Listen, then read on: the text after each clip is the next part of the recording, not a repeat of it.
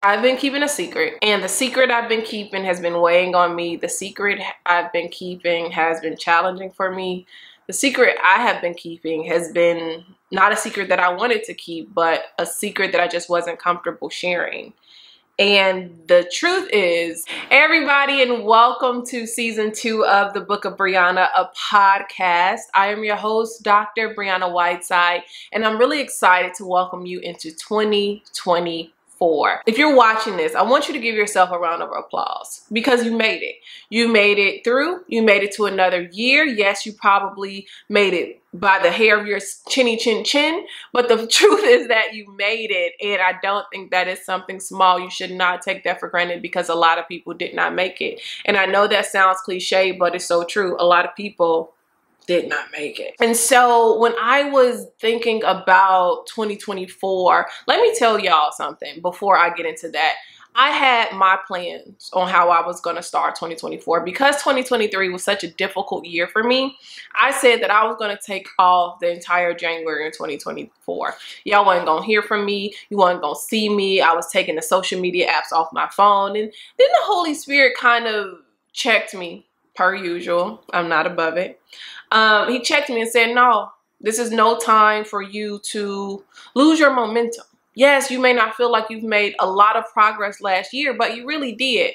And this is not the time for you to take your foot off the gas. This is time for you to continue moving forward. And so I was like, all right, cool you know, give me the strategy. And so I got, the, I was getting the prophetic strategy for my year. And when we came to the podcast, I was like, okay, what is the podcast going to look like now? The direction that he gave me, I'm just going to be honest and say was very uncomfortable because I wasn't prepared to share.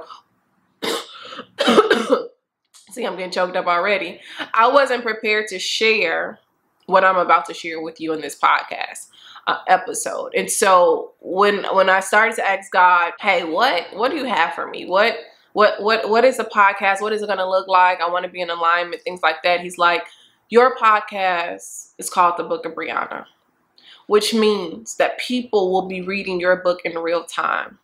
So in real time, you have to show up. In real time, you have to be honest. In real time, you have to tell the truth. And I'm kind of like, mm, I'm not really feeling that, God, because I have the Book of Briana podcast and my teachings and everything else on the same platform. It's gonna make me look kind of, I felt that it was gonna make me look double-minded, but he, he started to work on me and reveal like, no, you're letting your audience in on the process, which is what a lot of people don't do. They don't let people in on the process. They don't let people see the vulnerable side and, you know, see what it really takes to follow God. And so if you're going to be the book of Briana, if this is what your podcast is going to be named, then you have to be an in time, not in the time, a real time, in time living epistle for people to read.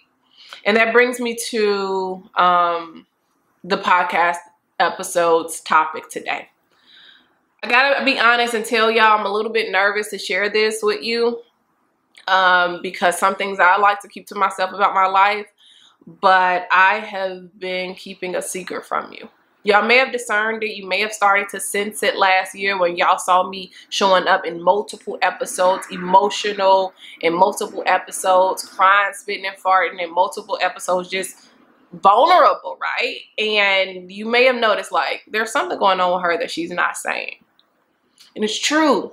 And I'm probably gonna cry, tear up, which is why I put on my new eyelashes. I've been keeping a secret. And the secret I've been keeping has been weighing on me. The secret I've been keeping has been challenging for me. The secret I have been keeping has been not a secret that I wanted to keep, but a secret that I just wasn't comfortable sharing. And the truth is, I have not told you all that I, um, I have not shared that I am leaving my career. Mm-hmm. I bet y'all thought I was gonna say I'm pregnant. No, not me. Um, but um, I'm leaving my career. I turned in my letter of resignation at the beginning of December. And this, I want to kind of start unpacking this decision because I am not the person who makes impulsive moves. I am very calculated in how I move. And when the, the decision that I could not avoid anymore came up, that it was time for me to leave my career, I struggled with it. And I wanted to share this story with you all in retrospect. I wanted to already have the testimony before I shared, you know, the experience, but I kind of felt like God was leading me to share the test that I'm currently in right now and have been in for the last few months. So let me start at the beginning. I knew since I was in second grade, I knew I wanted to be a teacher. I knew it. I, I, I had a second grade teacher who inspired me and I knew I wanted to be a teacher, not even knowing that God had uh, created me to be a teacher. I didn't know that I was born a teacher, but I knew that, you know, I wanted to be a teacher. And my entire life from second grade up until now, I've been a teacher. I've been pursuing that goal, right? I didn't know what kind of teacher I wanted to be, but I knew that that was the profession I wanted to go in, and I never deviated from that path. It was always clear you're going to be a teacher. You know, so I'm going through school and I'm going through the PhD program, but something within me always knew that um, being an academic wasn't going to be the end all be all for me. Though I was pursuing this career, though I wanted to do it, though I knew that, you know, this is the path, something in me knew you won't be here forever. And it was so, and I know it wasn't just something, it was really the Holy Spirit prompting me the entire time, like, look, girl, don't get comfortable. We're to allow you to do this thing, but there's to come a time where you're to have to stop doing it this way. And so I used to make this joke. Was around 2019. So 2018, I became a professor.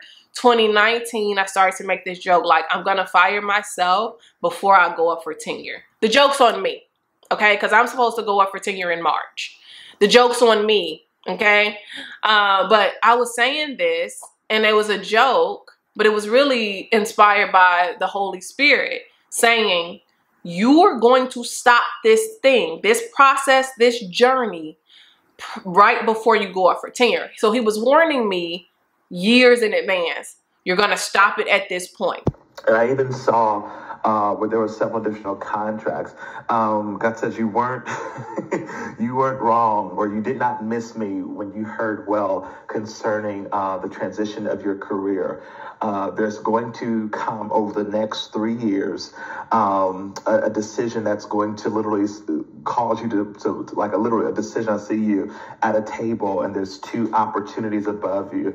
Well, there's two opportunities in, in front of you. It's either do I continue on in my narrative as a professor at UNLV or do I take this opportunity that can literally uh, provide generational wealth and other things to come? Do I focus on the security or do I go all in into the risk factor? Factor.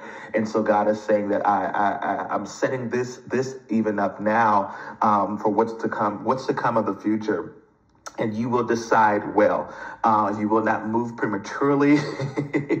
uh, you will not move prematurely, but you will be asked Issachar and discern the seasons of the time and know when to act. Uh, Fast forward to 2023, I started to feel the prompting. Now in 2022, I knew as the year was coming to an end that so a lot of things were coming to an end in my life. And I was seeking God asking like, what, what do you want me to do? Like I'm, I'm noticing that there's an ending coming. Um, I'm sensing it. I don't really know what it involves, what it entails, but I'm sensing it. What do you want me to do? And so when we cross over into 2023, I knew exactly what was happening. I knew you're leaving your career in 2023, right? I didn't know how it would look. I didn't know what it would entail, but I knew by the end of the year, you will have turned in your resignation. Okay. Let me just say this. There is a difference between knowing something and experiencing what you know though I knew at the top of 2023 that um, I wasn't necessarily going to be a professor for much longer, when I actually got into the decision of it, to the, the, the, get leading up to the deciding, leading up to having all the conversations that I've had to have with people over the last year, it, it, it brought up so many feelings. I was like, yeah, you knew you know, this wasn't going to be your end. Yes, of course, you knew these things, but now you're experiencing the emotion attached because you're literally about to give up the life you knew. I'm trying not to cry. The life you knew to follow God into a life you have no idea about and that you probably don't even want. And um I battled with it. So all last year when y'all saw me showing up and encouraging and talking and all this other stuff, it was already in my mind. This is coming, your career is coming to an end, Briana. Yeah, you can continue doing everything you're doing online, but in the back of your mind, you know this is ending. So when it when we hit January, no, when we hit July 2023, no, let's say June we hit June 2023 and I'm having to make decisions. God is talking to me about making decisions to go ahead and leave. And he, he's leading me into it, but I'm afraid because this is who I've been. This is my life. This is my livelihood. This is my career. This is how I make money. So you're, you're yes, you probably want to give me so many other things, but this is my world. And now my world is about to start shifting. What do you do? Because now you're shifting me out of who I've been. You're shifting me out of everything I've known into this unknown place, right? To follow you. So June comes, I'm like, okay, I'm going to have to make a decision.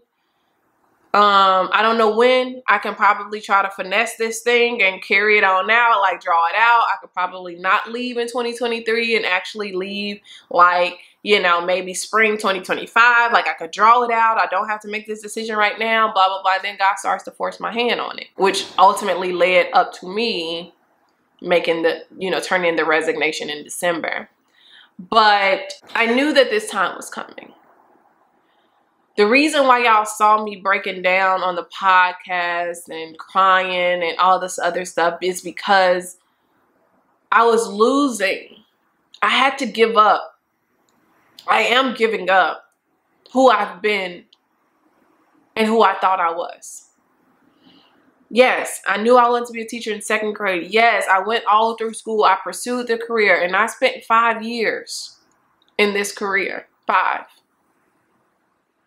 And now I'm at this place where I have to give it up because God asked me to. It's kind of like this this moment of, hey Bree, we let you do, heaven has allowed you to do what you've wanted to do in the first half of your life. We need you to let it go and come do us a favor.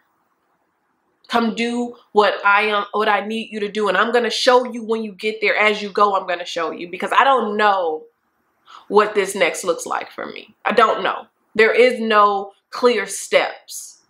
And I've tried to see him. I've sought the prophetic voices. I've sought all the people. You know what I'm saying? I've done all the things, but God has his hands so close, his card so close to his chest that I don't know.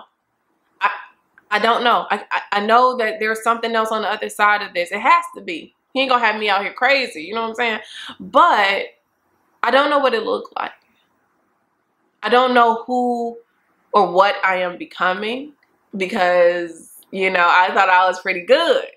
But I have to become in order to embrace who he has, what he has for me and who he who he needs me to be. And in the vein of transparency, y'all, I'm afraid. I know God didn't give me a spirit of fear. I know God got me covered. All the things that you could say to encourage me, to drop the scriptures and all that, cool. But let me just be honest because my inner circle have already done that, right? They've already told me, they've already done the things God has always already told me. But that doesn't take away from the human experience of following God into the unknown, stepping out on faith, but stepping out on faith in a, in a realm that you have no idea have no connections in. You don't even know how it's going to look. This is where I am. I don't know my next step. I only know this step. There is no next level without this level's obedience. And in order for me to get to the next, in order for me, my latter days to look better than my former days, I had to make this decision to leave everything I've known the comfort, the safety, the identity, the clarity, everything that I've known and that I've set my life up to, to, to do and who I've become. I gotta leave it. Let it go. And this is not a decision that I have taken lightly. Like, I never thought that I would necessarily be the one to, to do a YouTube video or talk about, oh, I left my job because God told me to. I used to really think that these folks were wild. These folks were crazy. These folks were wild. And, you know, even as I was talking to people about what I'm having to do, they like, yo, you sure? You sure that's what God said? You know what I'm saying? Like, they're, they're like, and it was no way around it. It was no way around me not making the decision. Like, you know how that song like can't go around it, can't go under you must go through. I had to go through it. I had to make the decision to close the door on my career. I'm not happy about it. I'm just going to be honest because I try to be honest and transparent with you all. Though I know that God has greatness in store for me, I'm not happy about it. Because you pay a price. And this is becoming more evident to me as I journey with God and as I move into the, you know, the things that he wants me to do. When that Bible say your life is not your own and you've been bought with a price, it's true. Your life is not your own. Once you give your, once you undergo salvation, once you give your life, life to Christ, your life is not your own. And he could demand that which he will of you. Because you've been bought with the price. And I, I don't think I necessarily realized the impact of that of that scripture, right? Your life not being your own. Or even like now that the, the story of Abraham going to sacrifice his son, it hit different for me. Now the story of the disciples, you know, leaving their careers and to follow God, it Jesus, it hit different for me. I know we like to sanitize these stories, but who in their right mind, even though you know that this is going to work for your good, who moves and these and does these decisions without um, feeling the impact of them, without feeling the the human emotion involved in following God. The the trauma, the turmoil, the, the unsurety of stepping out into the deep. Who? Who makes these decisions without first counting the cost? For the last year, I've been counting the cost, not just of my career, but the cost of me to emerge, the cost of me to become, to the cost of me to move forward in whatever God is having me to do, the cost of becoming, the cost of healing. I've been counting these costs. And when y'all saw me crying on the podcast last season, y'all were seeing the, me experience the cost of losing something. Losing something that I worked my entire life for walking away because God said, hey, can you do me a favor? I need you to do me a favor and I need you to end this because I need you to do something else, but I'm not going to tell you what it is yet. I need you to move in obedience to me and leave what you've known. Leave your father's house, Abraham. Get up. Leave everything you've known. Leave the former thing. Leave, leave your identity. Leave everything and follow me. Give up everything and follow me.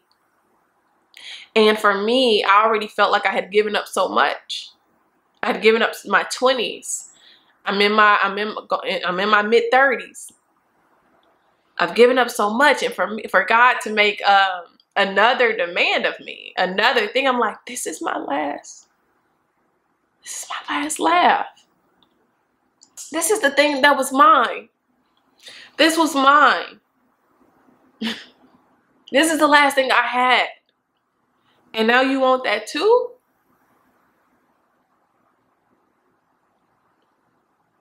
This faith walk ain't easy. This this this obedience walk isn't easy, and I and I try to be obedient.